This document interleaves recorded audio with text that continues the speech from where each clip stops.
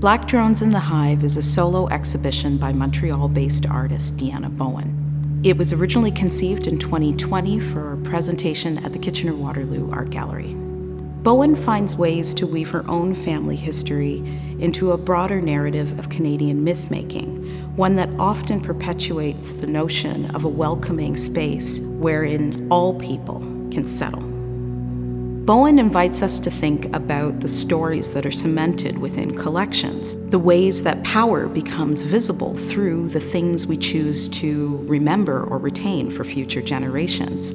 The title of the exhibition, Black Drones in the Hive, is derived from a comment found within the archives in Waterloo Region, referring to a resident of the Waterloo House and Industry and Refuge, William Robinson, the deputy reeve refers to him as a perfect black drone in the hive, an assessment that we might take to mean that he is good for little more than thoughtless labor.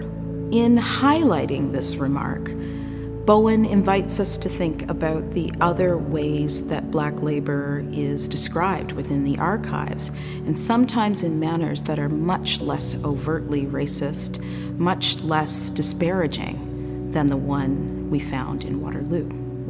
Black Drones in the Hive is structured as a series of chapters. So, as visitors move through the exhibition, they will get a sense of a kind of narrative unfolding. We might see a chapter that's devoted to the idea of eugenics, for example. Other chapters, such as the wars and the various vitrines that contain military memorabilia, speak to the ways that oppression unfolded on the battlefield other chapters focus on emancipation, namely through the constellations titled Slavery and Abolition. Within these constellations, we get a sense of the role that photography plays in mobilizing the abolitionist cause.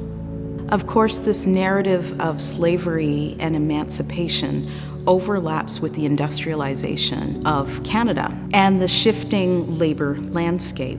In some of the constellations, we get a sense of the value of Black life, or at least how it was perceived in public archives and documents associated with post emancipation life. Upon close scrutiny of the images that Bowen has grouped together in her constellations, visitors will note that titles have unique sources. Sometimes these titles seem outdated or problematic, and it's important to note that this is not the result of the artist's own invention. These are titles that apply to the images as they are found within archives. So, Bowen's choice to retain these titles is a way to acknowledge the kind of harm that's conducted in these spaces. The earliest work in this exhibition, the petition consists of a reproduction of a staggering document that is found in Archives Canada.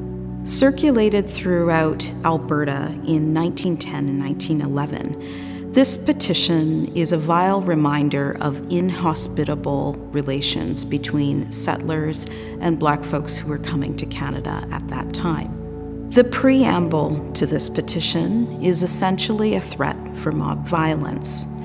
Understood another way, we might read it as the community deciding who is worthy of being there. At the time this document was circulated, 15% of the population of Edmonton co signed it.